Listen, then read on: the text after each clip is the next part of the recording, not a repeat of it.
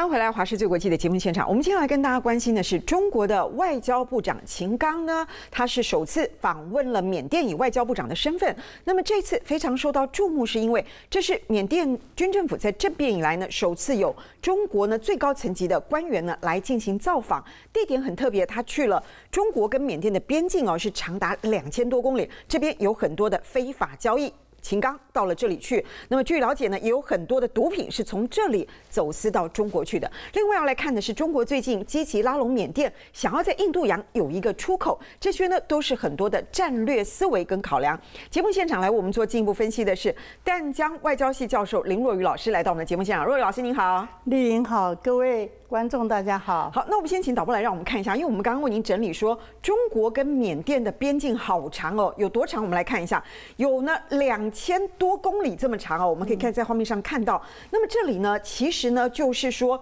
除了呢过去我们所熟悉的哦，这边有也是比较临近这边的有这个金三角，就是毒品走私非常猖獗的，在辽国、缅甸、泰国这边呢，当然很多的毒品猖獗，金三角恶名昭彰，大家都呃非常的呃清楚。那么除除此之外，我们就是很好奇，要来请教若雨老师。这次秦刚哦，他拜访闽昂来，然后特别去了这个中俄的中国跟缅甸的边境，然后还强调说，边境的合法呢很重要，边境的贸易这个合法贸易是非常重要。所以他这在意味着说，这个中国跟缅甸中间有非常多非常多的乱象跟非法的边境贸易吗？没有错哈。呃，我们知道刚刚呃大家也提到，就是在呃。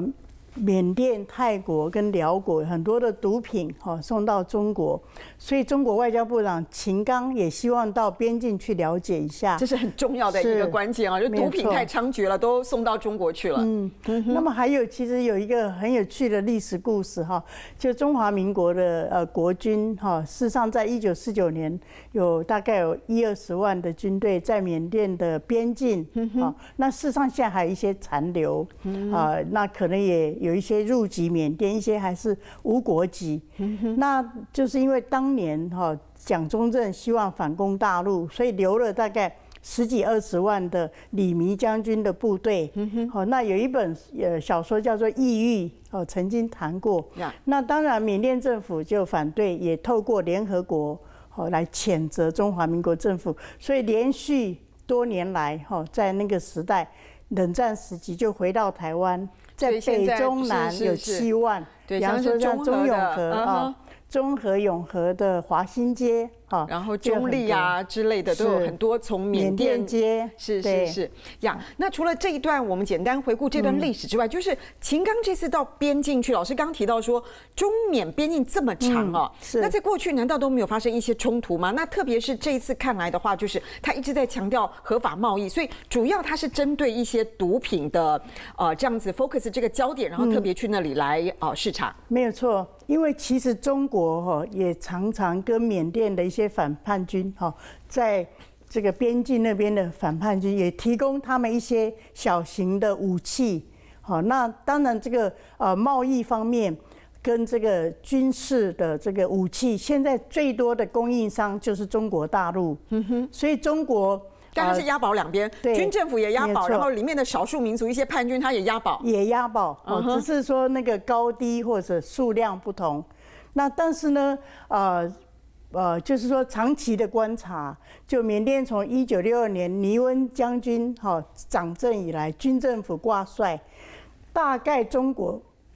对不起，还是缅甸最大的军事的哈。或者经济的哈，以及安全的最大的供应者是跟保卫者是。我们再请导播，让我们刚刚刚看那张，除了我们讲到说中国跟缅甸的边境好长，有两千一百二十九公里之外，我们看到呢，在这边呢还有一个果敢这个地方哦，这个地方也是隶属于缅甸，但是呢，它这里呢讲的呢是中文，然后用的是人民币，它是属于缅甸境内的果敢哦，但是。从这个果敢，我们似乎也可以看出来，中国跟缅甸在这个边境的地方，这个关系真的密切到一个绵密的地步。没有错，嗯哼，那个在果敢这个地方有过去很多就是种植鸦片罂粟的哈，那么呃有很多时候就是缅甸政府去呃去呃缴。但是那个没有办法全部都把它处理掉，所以在国馆这个地方哈，呃，那个叫张什么部队哈，姓张的也就是说，他们都是以种植鸦片为主。当有一段时间说是，呃，这个军队果敢的军队跟缅甸政府已经取得了共识，并且向政府投降。不过呢，我们所了解的，在这个地区的种植鸦片还是继续存在，只是说，呃，比较过去的公开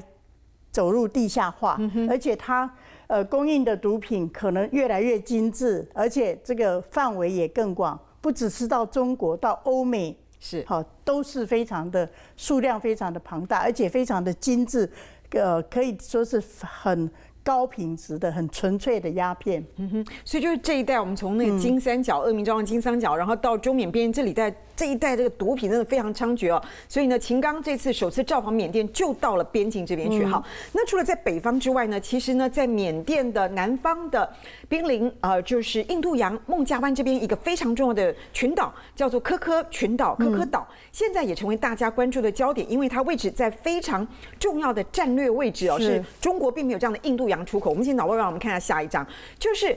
现在呢，有媒体报道关于这个，我们看到是大科科岛哦。这里呢，根据英国的研究所所释出的消息，在这里呢，恐怕有中方呢在这里呢实施一些军事基地的运作，包括加长飞机跑道、雷达站、停机坪等等哦。那这个印度就表达很大的疑虑。那但是呢，就是中方也是否认的。是。但是我们请导播让我们看刚刚那一张，就是有在印度洋上面的科科岛，这个位置非常非常的。重要，我们是请导，请啊老师来跟我们说明一下，为什么这个在印度洋上面，这个在孟加拉湾的这个大科科岛哦，它的军事动态会这么的受到关注，尤其是如果中国跟缅甸携手合作的话，嗯，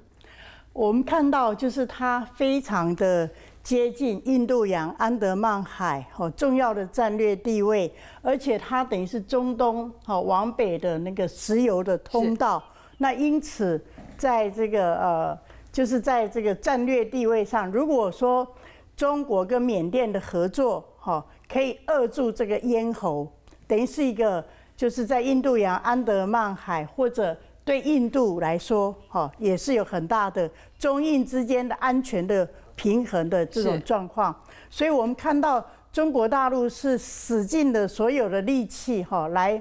呃，就是在这个大科科岛，这个事情已经不是今天一天两天。虽然中国否认，呃，中国过去在南海的人工岛礁哦也设置跑道，还有雷达也是否认的。那现在就是刚呃丽玲说到的英国的研究所，还有美国的和平研究所的缅甸研究项目，都提出来说，这个大科科岛的确是有很多的中国的。军事的布置，哈，虽然它那个跑道不是很长，哦，只一百多公里，哦，那但是那个它还连接一个到外面的一个小岛，哦，除了有这个雷达，呃，停机坪，还有连接外面的一个小岛，所以都是存在的。那这个大科科岛它的位置真的很耐人寻味，因为它离我们在画面上看到，它离印度的。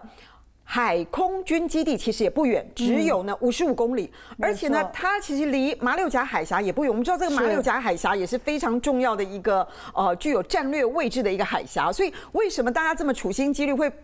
放大镜来看这个大科科岛，属于缅甸的这个大科科岛，它的战略位置这么重要，就跟它右边跟左边都有非常重要的设施。它等于是就是扼住东南亚的门户。好，刚刚提到的马六甲海峡，所以在美国在大概一二十年之前就已经用那个国际的卫星，哈，已经有来侦测到这个呃大科科岛，哦。中国跟缅甸的合作，因为缅甸等于是也是要靠中国来保护，是哦在军事武器或者在经济的发展，甚至在政治的安全，还有去年的军事政变以来，哦我们知道联合国安理会决定要谴责缅甸，但是中国跟俄罗斯反对，好所以没有办法成功。但是那个中国等于就是缅甸的保护者。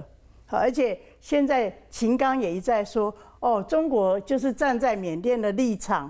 那么敏昂莱也回答说，哦，我们我们呃缅甸非常欣赏中国在缅甸的主权问题上的中立客观。哦，所以这个两个国家就是表达他们的友好。，所以我们是不是可以简单的理解说，就是中国现在呢是在拉拢这个被国际间孤立的缅甸军政府，然后呢试图呢看有没有机会呢让他在。印度洋这边呢有一个出口，可以掌握一个关键的地理位置、对战略位置。嗯哼，是好。我们今天非常谢谢淡江大学 外交系林若愚老师来为我们做进一步的解析，看到秦刚如何的站在中缅的边境哦，去强调合法化，因为这一带实在非法太嚣张了。另外就是我们往南看，有关于在印度洋上的缅甸的大科科岛，现在也可能有中国的军事设施在上面了。我是陈雅玲，想要跟我一起从零掌握天下事吗？赶紧按下华视新闻 YouTube 频道的订阅按钮，开启小铃铛，跟我一起探讨公共议题，给您最专业的华视新闻。